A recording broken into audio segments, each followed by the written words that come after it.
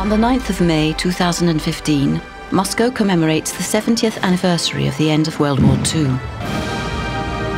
President Putin has invited Western leaders to come and pay their respects to the memory of the nation which paid the highest toll in this war.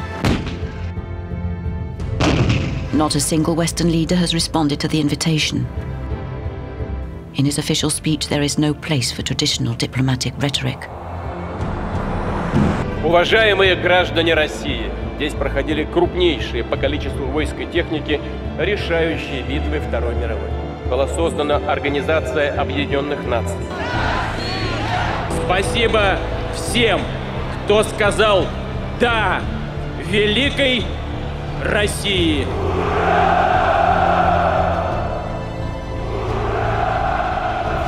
It's exactly what a large number of Russians want to hear. Putin at last clearly spells it out. Russia will become a great power again.